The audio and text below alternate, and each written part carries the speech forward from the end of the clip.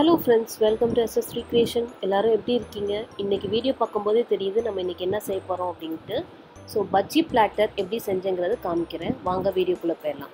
So bajji செய்கிறதுக்கு ஒரு வாழைக்காய் ஒரு உருளைக்கிழங்கு ஒரு வெங்காயம் அப்புறம் பஜ்ஜி மிளகாய் எடுத்தேன். ஸோ ஃபஸ்ட்டு பார்த்தீங்கன்னா பஜ்ஜி மிளகாயை நான் கட் பண்ணிக்கிறேன்.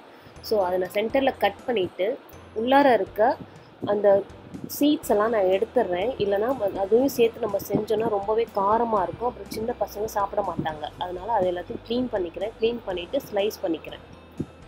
அடுத்தது பார்த்திங்கன்னா வாழைக்காய். ஸோ இன்றைக்கி ஒரு வாழைக்காய் எடுத்திருக்கேன் பஜ்ஜி செய்கிறதுக்கு அதை ரெண்டாக நறுக்கிட்டு அதுக்கப்புறம் தோலை சீவிடுறேன். சீவினதுக்கு பிறகு வெஜிடபிள் ஸ்லைசர் வச்சு ஸ்லைஸ் பண்ணிக்கிறேன். இந்த மாதிரி ஸ்லைஸ் பண்ணுறதுனால தின்னான பீசஸ் வரும். அந்த மாதிரி சேர்த்து நம்ம பஜ்ஜி செய்யும்போது பசங்க வந்து அதையும் சேர்த்துட்டு ஃபுல்லாக கம்ப்ளீட்டாக சாப்பிடுவாங்க. இல்லைன்னா பார்த்தீங்கன்னா வாழைக்காயை ஒதுக்கிடுவாங்க.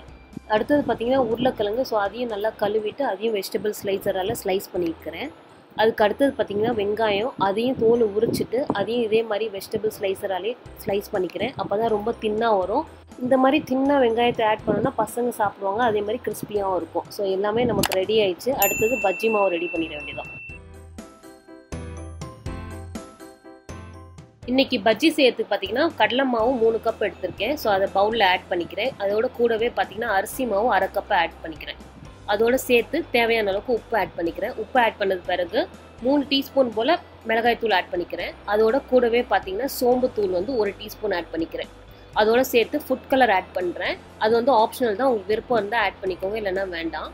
அதுக்கப்புறம் பார்த்தீங்கன்னா அதோட சேர்த்து கால் டீஸ்பூனோட இன்னும் கொஞ்சம் குறைவாக பேக்கிங் சோடா ஆட் பண்ணிக்கிறேன்.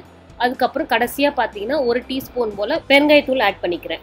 அவ்வளோதான் நமக்கு. இன்றைக்கி பஜ்ஜி மாவுக்கு தேவையானது எல்லா இன்க்ரீடியன்ஸுமே ஆட் பண்ணியாச்சு. இப்போ அது எல்லாத்தையும் சேர்த்து நல்லா மிக்ஸ் பண்ணிக்க வேண்டியது தான் தண்ணி ஆட் பண்ணுறதுக்கு முன்னாடி நல்லா மிக்ஸ் பண்ணிக்கலாம். ஏன்னா இது எல்லாமே dry ingredients so first mix பண்ணிவிட்டு அதுக்கப்புறம் கொஞ்சம் கொஞ்சமாக தண்ணியை நம்ம ஆட் பண்ணிக்கிட்டு மிக்ஸ் பண்ணிகிட்டே இருக்கலாம்.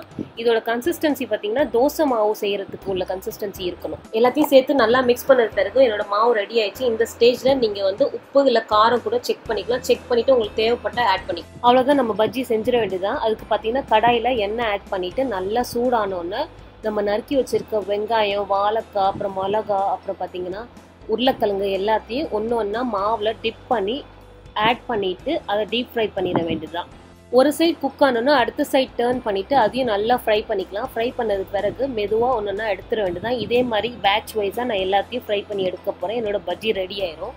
எப்போதுமே பார்த்தீங்கன்னா நம்ம ஆயிலில் என்ன ஃப்ரை பண்ணாலுமே நம்ம போடுறப்போ ஒரு வெயிட் இருக்கும். அதே மாதிரி நல்லா ஃப்ரை ஆனது பிறகு அதோட வெயிட் வந்து குறைஞ்சிரும். ஸோ இதுதான் இதோட டிப்பு ஸோ இப்போ பார்த்தீங்கன்னா என்னோடய பஜ்ஜி ரெடி ஆயிடுச்சு. இப்போ நம்ம பேக்கிங் சோடா கொஞ்சம் ஆட் பண்ணதுனால இதோட டெக்ஸ்சர் எப்படி இருக்கும் அப்படின்னா நம்ம பீச்சிலலாம் சாப்பிடுவோம் பார்த்தீங்களா சுட சுட பஜ்ஜி. ஸோ அதே மாதிரி இருக்கும்.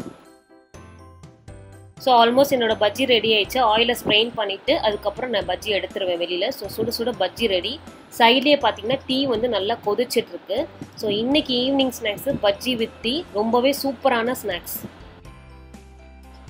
சுட சுட என்னோட பஜ்ஜி பிளாட்டர் ரெடி ஆயிடுச்சு. இதில் பார்த்தீங்கன்னா என்னோட ஆனியன் வந்து பயங்கர கிறிஸ்பியாக இருந்துச்சு. ஏன்னா நம்ம வெஜிடபிள் ஸ்லைசரால் ஸ்லைஸ் பண்ணோம். ஸோ கூடவே பார்த்தீங்கன்னா சுட சுட டீ ரெடி சூப்பரான ஸ்நாக்ஸ் ரெடி கண்டிப்பாக நீங்களும் உங்கள் வீட்டில் இதே மாதிரி ட்ரை பண்ணுங்கள் இந்த வீடியோ பிடிச்சிருந்துச்சுன்னா லைக் பண்ணுங்கள் ஷேர் பண்ணுங்கள் கமெண்ட் பண்ணுங்கள் எங்கள் சேனலில் கண்டிப்பாக சப்ஸ்கிரைப் பண்ணுங்கள் கூடவே இருக்க பெல் ஐக்கனை கிளிக் பண்ணுங்கள் அடுத்த வீடியோவில் அடுத்த ரெசிபியோட சந்திக்கிற வரைக்கும் பாய்